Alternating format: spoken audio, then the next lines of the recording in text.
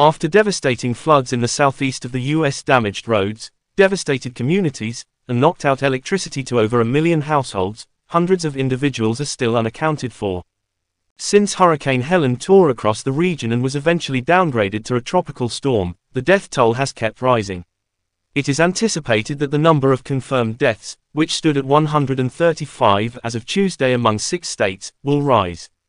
At least 40 of the fatalities occurred in western North Carolina, where 300 roads are still closed, making it difficult to conduct rescue efforts and distribute critically needed food and water.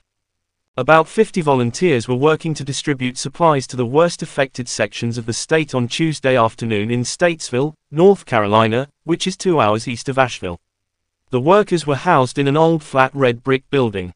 Stacks of everything from dog food to toilet paper filled the once empty area.